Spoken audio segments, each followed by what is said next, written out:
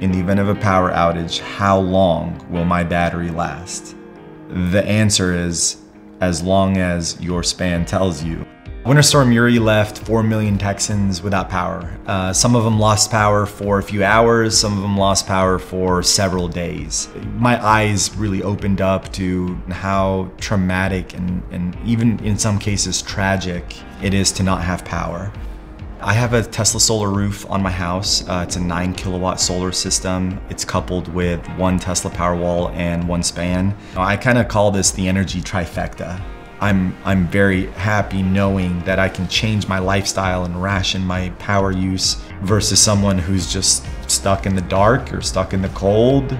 With a span, I'm able to optimize my battery, tag my loads as must have, nice to have, or non essential. I'm able to make those critical decisions on the fly. There's, there's no telling you how that makes me feel knowing that my family is, is safe, the safest home on the block. I've had Span in my house for about two years now, and then recently just installed the Span Drive. The fact that it pairs with the Span electric panel uh, gives you a, a whole lot more flexibility.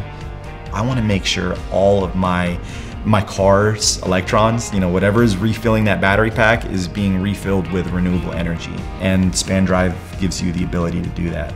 I'm not thinking about, you know, will I break even in five years? I'm thinking like long after I'm gone, will this benefit my family? Will it benefit my community? And will it benefit my planet? And if the answer is yes, then I'm gonna make that decision